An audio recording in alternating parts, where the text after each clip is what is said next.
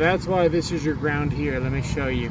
I found the perfect way to explain this, okay? This is our neutral, and we are bonded, not grounded. We're bonded to the case. This is ground, but it's not the ground that you're thinking. This is the earth ground. When we're talking about grounds, we're talking about the path back to the neutral.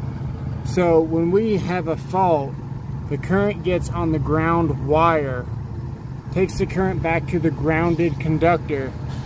That way you can get back to the meter to go back through the transformer over here to trip the breaker.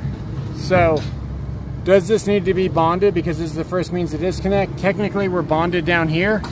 So we've got a path from the case back to the neutral. That's our ground wire there.